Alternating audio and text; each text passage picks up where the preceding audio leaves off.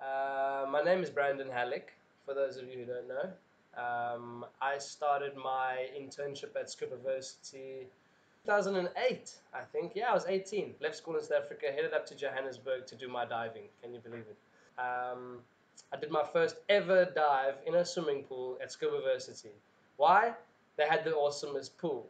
it had a five meter cave in it, um, various levels. Anybody who wants to swim in a pool, this is the best pool to swim in, I tell you that. And uh, my life changed. I still remember coming out of that dive and uh, Colwyn had just walked past the pool and he turned around and came back and he saw the excitement in me and uh, I was sold from that day. And you, you can look into our Blue Ocean internship program. 18 years old, where am I going? What am I doing? I don't know, but uh, sure as hell don't know what I want to study, that's for sure. And uh, yeah, signed on. I just we started connecting and uh, started basically selling a passion. And um, what I learned at Scubaversity was more than just a passion. I mean, it was it was how to conduct yourself, how to look presentable, how to be you. I remember Mandy um, sitting us down in lecture rooms, and we were learning more than just diving. And that and that was that was probably where I, f- felt like I'd found a second home.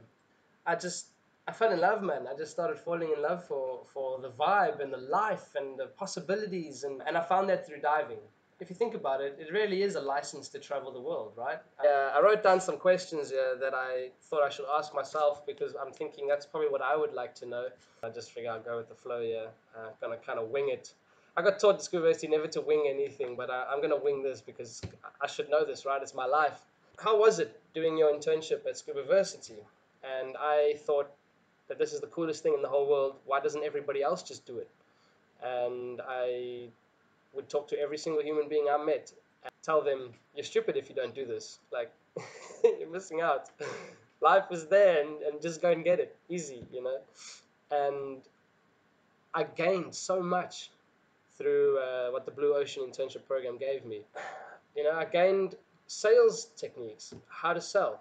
How do you sell something you believe in, to deal with people, how to talk to people, how to engage in people, how to conduct yourself, you know, and because uh, that goes a long way. I also taught discipline.